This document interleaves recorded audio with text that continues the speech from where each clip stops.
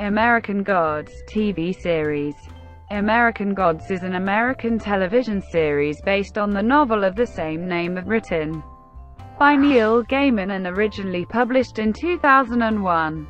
The television series was developed by Bryan Fuller and Michael Green for the premium cable network Starz. Fuller and Green are the showrunners for the series. Gaiman serves as an executive producer along with Fuller, Green, Craig Cegielski, Stefanie Berk, and Thom Beers. The series focuses on Shadow Moon, who meets a strange man named Mr. Wednesday after being released from prison. However, he soon finds himself a part of a large-scale conflict between the old gods and the new gods, who grow stronger each day. The first episode premiered on the Starz network and through their streaming application on April 30, 2017. In May 2017, the series was renewed for a second season.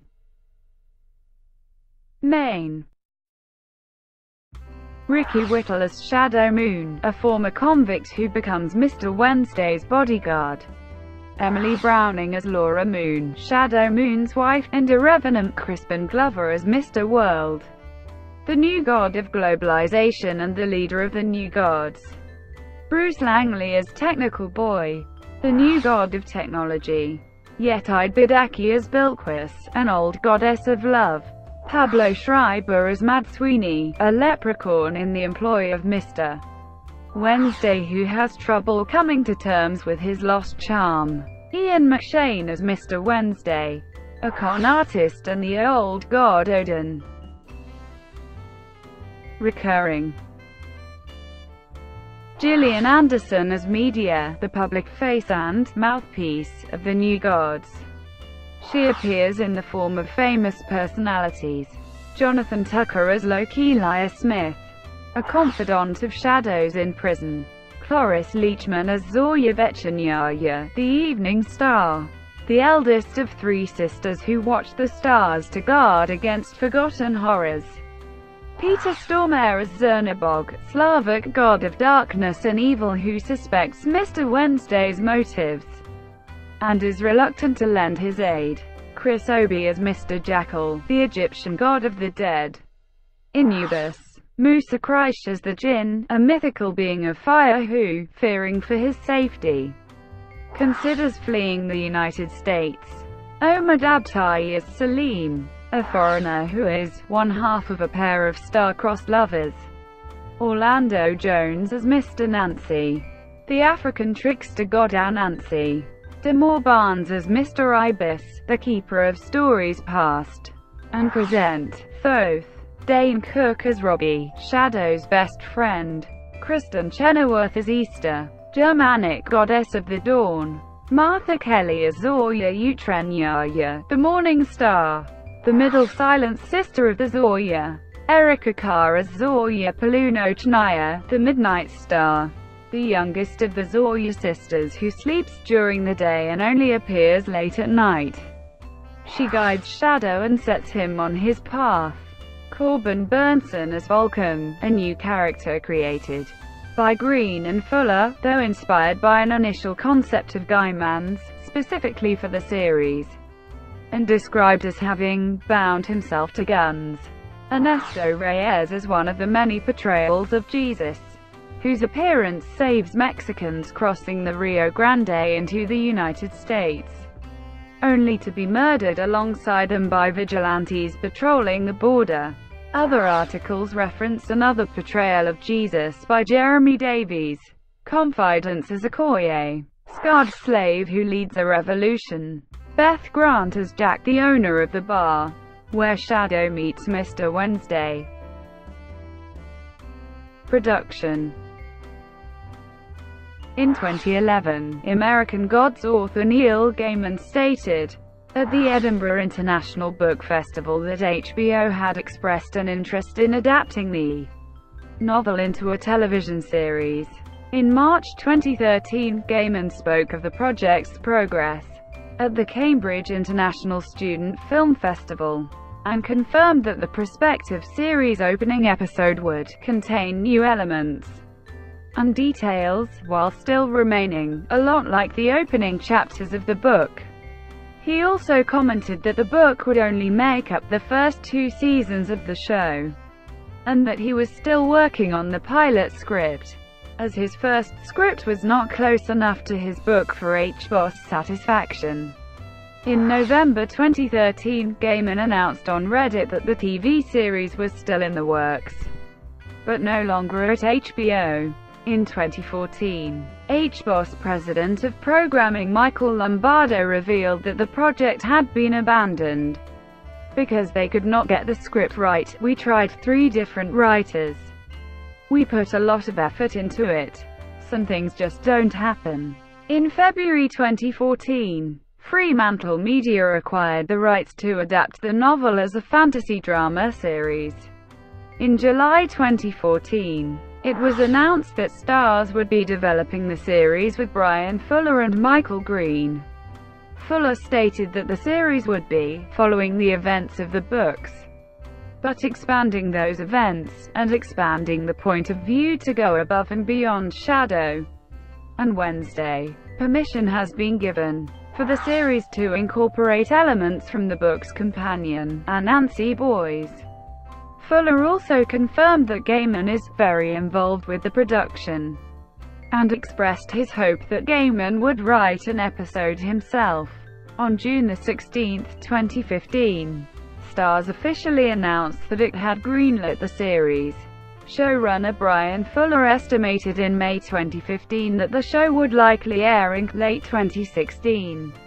However, it premiered in April 2017, and the first season will consist of eight episodes. The shooting was scheduled to begin on March 1, 2016, in Toronto, and continue until September. During an interview with Neil Gaiman on June 24, 2016, he discussed plans for future seasons of the show beyond the first, should it be continued and noting that the first season only covers the first third of the novel. The second season is intended to cover the lakeside section of the novel. And, a big pivotal thing that happens to Mr. Wednesday, will likely be a season finale for either the second or third season. Regarding the sexual content on the show, Green stated that while the book contains sexual content, our sexual content when it was portrayed, was artful. By that, we mean that it was essential to character, or essential to story. That it was as beautiful as anything else we were gonna try to portray in the show. Which is to say, if you're going to define gratuitous sexuality as sexuality that can be cut out, and not diminish the final episode in any way, we weren't gonna do that. We wanted it to be something that was essential. He also added that Starz wasn't shy about nudity. The third episode features a gay scene between a businessman named Salim and a jinn. Fuller admitted he wasn't concerned with the explicit sexual content that was featured in the scene, stating, We wanted to tell a very graphic story with the sex and sexuality, and also tell a tale where a man comes from a country where homosexuality is punishable by death. For him most sexual experiences would be back alley blowjobs. So the jinn is making love to him probably for the first time in his life so he can experience sexual love. It's an amazing, beautiful experience for a human being to have particularly when you consider how many men, women, and genders in between, don't, or can't, because of where they come from. Omid Abtahi, who portrays Salim, commented on the relationship, I think love in any form, man, man, woman, man, woman, woman, whatever, is a beautiful thing. I would love to live in a world where people are not thrown off by that. So the way you do it is by exposing them to it and normalizing it. Yes, it might be a little graphic for some people, but it's natural.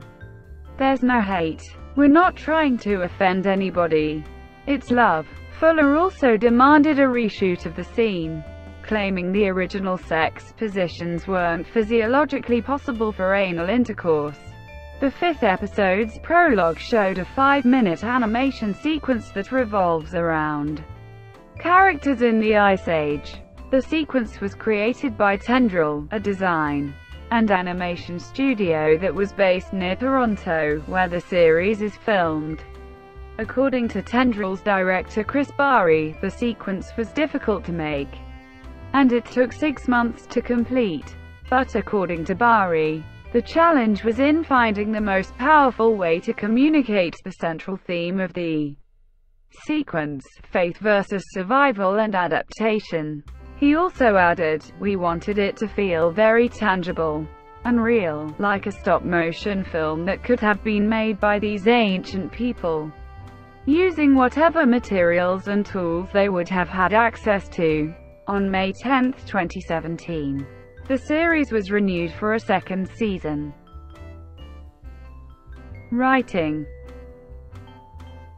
Fuller stated that he wanted the old gods to be portrayed as gritty and rustic to demonstrate the well-worn aspects of their religion and the consequences of going without faith for so long, while the new gods are portrayed slick and updated with their technology to illuminate how valuable and pertinent they are in their own religions. Neil Gaiman also wrote episodes of the series. Casting on January 28, 2016, Ricky Whittle was cast as the lead character, Shadow Moon. On March 2, 2016, it was announced that Ian McShane had been cast as Mr. Wednesday. It was later announced on March 17, 2016, that Emily Browning will play Laura Moon, Shadow's wife. On March 23, 2016, it was announced that Sean Harris, Yetide Badaki, and Bruce Langley would play the respective roles of Mad Sweeney, Bilquis and Technical Boy. On April 14, 2016, Jonathan Tucker and Crispin Glover were cast as Low Key Lyesmith and Mr. World. On April 21, 2016, Cloris Leachman was cast as Zorya Vechernyaya, Peter Stormare as Czernobog, Chris Obi as Mr. Jacquel, and Mousa Kraish as the Djinn. On May 6, 2016, it was announced that Sean Harris had departed the series due to personal reasons, and the role of Mad Sweeney was being recast. On May 11, 2016, it was announced that Pablo Schreiber would take over the role of Mad Sweeney. In June 2016, it was announced that Gillian Anderson would portray Media. On June 15, 2016, it was announced that Omid Abtahi, Orlando Jones and Amor Barnes would join the cast as Salim, Mr. Nancy and Mr. Ibis, respectively. On July 15, 2016, it was announced that Dane Cook was set to appear as Robbie, and a week later, Kristin Chenoweth as Easter. Marketing the first trailer for the series was released on July 22, 2016, at San Diego Comic-Con International. Broadcast American Gods premieres each week in the US on the Starz app, before airing the same day on Starz at 9 p.m. Each episode becomes available internationally on Amazon Video the day after the US broadcast. Critical response The first season of American Gods has received very positive reviews from critics. On Metacritic, it has a score of 77 out of 100 based on 36 reviews, indicating generally favorable reviews. On Rotten Tomatoes, it has a 95% rating, with an average score of 8.08 out of 10 based on 62 reviews. With the consensus stating, American Gods opens with a series of wildly ambitious gambits and rewards viewers' faith with a promising first season whose visual riches are matched by its narrative impact. Terri Schwartz from IGN gave the first episode a rating of 9 tenths.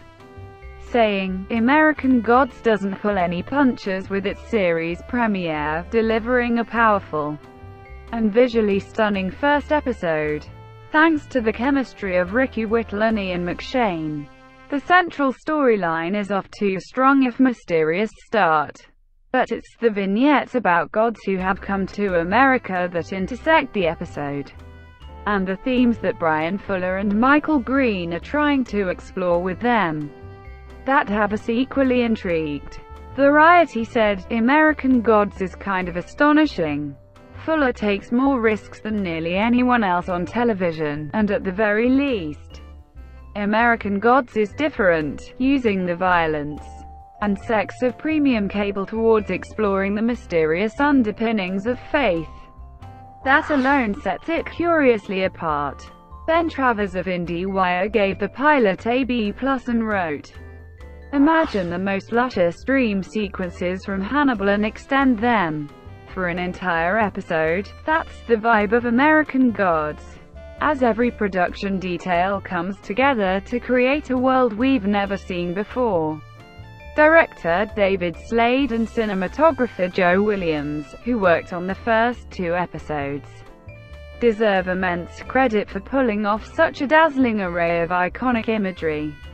Creating an eye-catching fiery-eyed buffalo is one thing, but finding equal inspiration from an old gravel road a rolling clouds filled with rain is quite another. American Gods pulls it all together to craft an American landscape filled with familiar figures, but stylized like never before.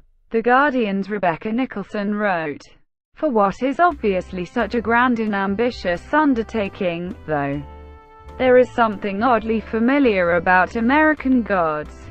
Perhaps it is simply one of those accidents of timing.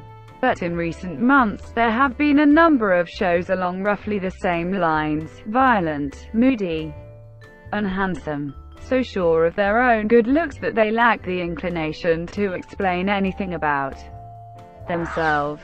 Fans of Legion and Preacher, in particular, will be happy to add another clever, clever supernatural show to the library while fans of the book may be delighted that it has found its way to the screen at last. But it may take patience for those viewers who fall somewhere in between. Thank you for watching. Please like and subscribe below.